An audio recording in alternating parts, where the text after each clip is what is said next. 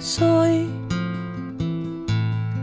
pecadora. También un poco visibilizar los privilegios que tienen también eh, algunos hombres en las escuelas, ¿no? Y que muchas veces naturalizamos las, las docentes, como por ejemplo esto de de que ah, llega un compañerito varón y nosotras y vemos compañeras que se ponen felices porque ay vino un hombre, vino un hombre, adoramos la masculinidad y después viene a cuidar el patio.